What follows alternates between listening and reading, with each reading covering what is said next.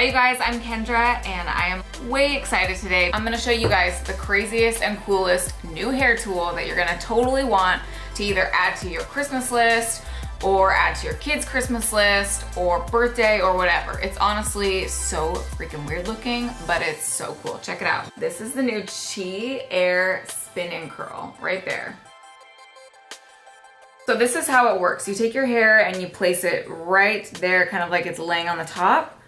And then there's these buttons on the other side. One makes it go forward and the other makes it go backwards. So you can have different direction of curls going on. So I'm gonna take my piece of hair like this. You want the flat part to be up against your head. And then you just take this, press it right there, and then make sure you're going the direction that you want.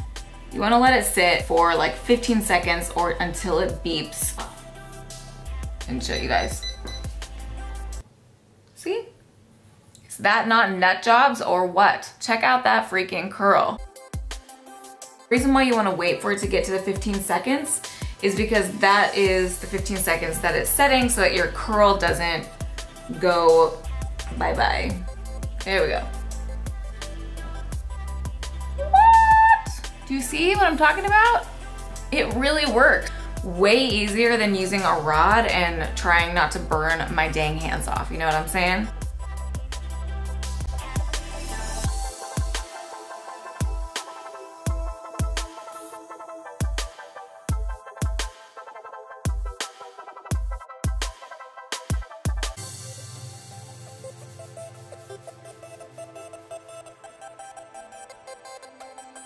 It does not burn you at all because this thing does not get hot, so it's not gonna, it's not gonna bother you. Like you can put it right next to your head and it will just do nothing.